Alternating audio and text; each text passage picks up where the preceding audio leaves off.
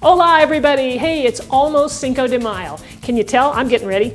So today's recipe, we're making a Mexican shredded chicken in a crock pot. It's super easy to do, it's super delicious, and extremely versatile.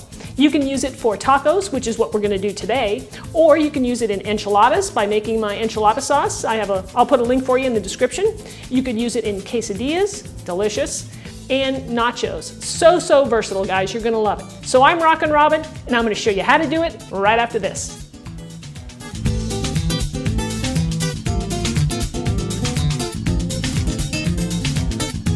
All right, guys, let's go over our ingredients. All right, I have some boneless, skinless chicken thighs here. I like to use chicken thighs as opposed to chicken breast. It's just more tender, juicy, and it doesn't dry out. I've got my taco seasoning here. I highly recommend you try that. I'll leave a link in the description for you. You can control the salt and any of the seasonings if you prefer. I got some minced fresh garlic. Even though my taco seasoning has some garlic powder in it, I like to add a little extra garlic because I love that garlic. All right, we'll need some chipotle peppers in adobo sauce. Use as much of this as you like it hot, guys. So uh, I just use a little bit, but I love that smoky flavor. I have some fresh cilantro and parsley that I'm gonna use both of there. Here we have some very finely diced onion, yellow onion here.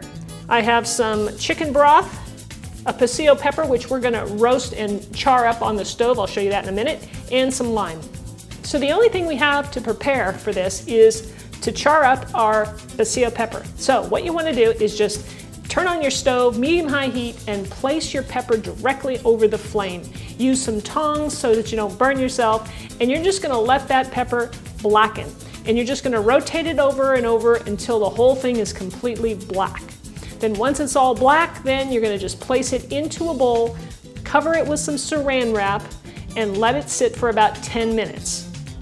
While our pepper is steaming, we can go ahead and load up our crock pot. So I'm gonna start off with the onions. I'm gonna toss those in the bottom. Next go the chicken. Now to the chicken broth, I'm gonna add my taco seasoning to it so that it can really get mixed in and then it'll really blend in really well. And then we're gonna pour that right over the chicken.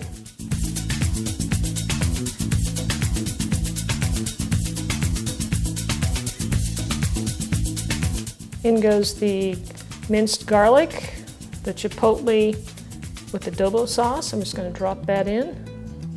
And I'm going to chop up a little bit of that cilantro and parsley to toss in.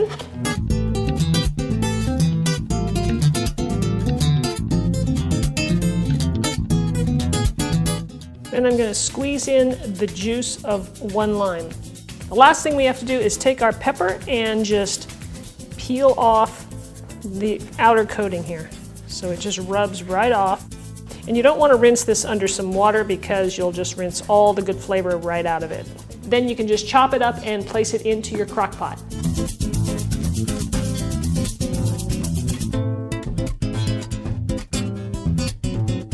Now, I like to take a spoon and, you know, stir everything up so that everything gets mixed in. Now I'm just letting this cook on high for four, four and a half hours, you know, longer the better, right? Or you could cook it on low for eight hours. All right, guys, I want you to have a look at our chicken. Like I said, it's been about four and a half hours. Looks delicious, doesn't it? So I'm just gonna shred it up right here in the pot, pick up the pieces. They just fall apart, guys. It's so tender. All right, guys, I'm ready to put our tacos together. Our chicken looks fantastic. I have my condiments out. I'm using today avocado, sour cream, some pico de gallo, and some cheddar cheese. So let's do this. Now I've got my tortilla oven here. You know, if you've seen my videos, you know how much I really like these things. They work so good. All right, so I got a little flour tortilla here, and I'm gonna add my chicken. I'm gonna lay some, let's do that pico de gallo. A little sprinkle of that on top. A slice of avocado. Sprinkle of cheese. And we'll finish it off with a little drizzle of sour cream. And there you have it, guys. This is a, like I said, a very versatile recipe. You can use it for tacos, enchiladas, you know, nachos, quesadillas, you name it.